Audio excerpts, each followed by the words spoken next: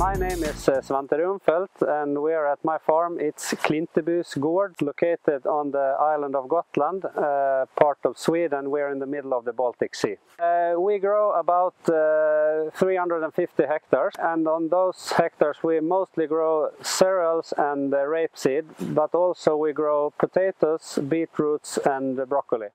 We uh, have been irrigating for more than 20 years and uh, it's with uh, ordinary hose reel machines. For this year I invested also in a center pivot. I have four hose reel machines and a center pivot that is 900 meters in radius and covers about 125 hectares.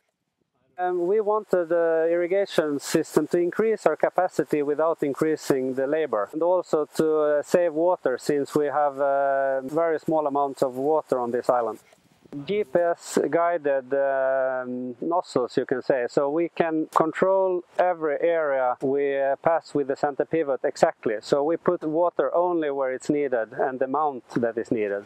Corner system is uh, an arm that can swing away when we uh, meet uh, obstacles. So to increase the, the irrigated area, we uh, have this uh, corner swinging away from the obstacle and uh, folding out when we have passed we have a fertilizer system to uh, put fertilizer in the irrigation water and it's for the same reason as we have VRI to be able to control our crops even better and to increase the quality of our yield. This is a very dry uh, region of world and, uh, in Sweden it's the driest place actually and uh, we have a big increase in yields from uh, irrigation and even bigger from the center pivot. We use the water more efficient uh, this way. Since since we're on this island with small amounts of water, we have uh, built a dam to collect water in winter time. And the water we collect is actually the drainage from our own fields. So you can say that we are uh, recycling our water.